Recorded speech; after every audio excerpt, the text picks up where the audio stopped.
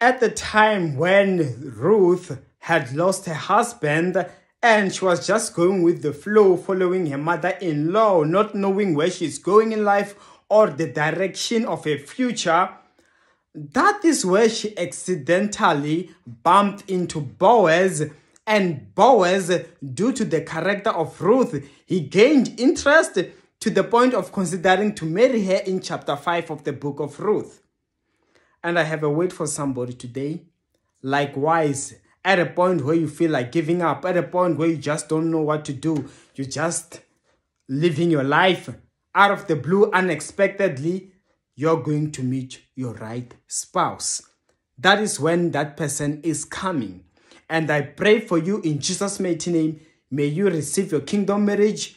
You are getting married according to the will of the Lord. I decree and I declare over your life right now in Jesus' mighty name.